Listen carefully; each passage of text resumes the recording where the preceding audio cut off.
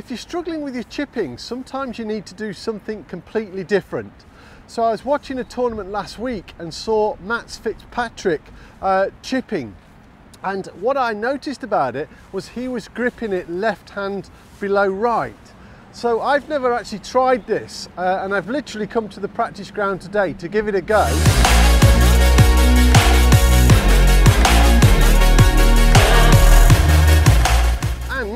Pleasantly surprised. I used to put that way uh, and fairly recently I changed to a, a saw grip.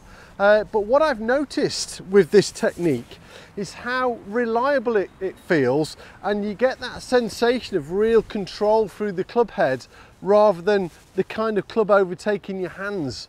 Um, so if I just demonstrate what I was seeing, so normal chipping setup other than the grip was completely the other way around. So this would be a conventional grip and what I noticed him doing was he had his hands the opposite way round. Now I've hit a few shots doing this just to get a feel for it and what we need to avoid is this release of the club head. Now when your left hand's below your right, if you get that involved, you really do thin the golf ball and it can shoot off over the other side of the green. So what I feel that you need to do with this one is the angle that you create at setup we just maintain that through impact. So you can see how now my hands are still forward rather than the club head overtaking my hands. So if I just show you what that looks like doing this correctly, so hands are forward and just keep them forward. And that's come out totally under control, which I'll show you from the side in a second. So hands forward and keep them forward. So the ball's got a little bit of spin on it, uh, but what I'm finding there is the club head feels now like it's going at the same speed as my arms rather than that acceleration that you can get sometimes if you're struggling with your chipping.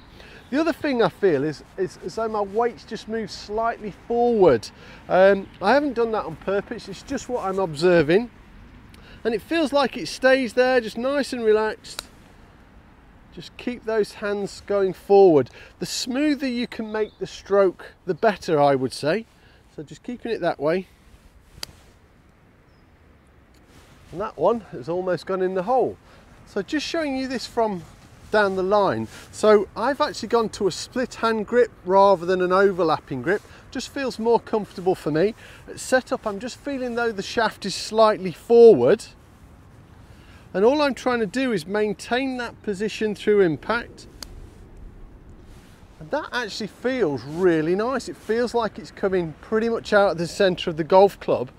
And there isn't that sense of flick of, of the wrist cocking too quickly through impact but actually just maintaining this lovely angle and if you keep it smooth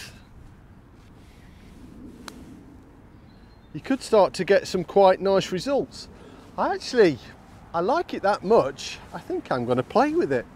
I need to do it a bit more practice, but confidence wise, feels really safe. I like it. So if you're struggling with your put uh, with your chipping, give this give it a go. Why not?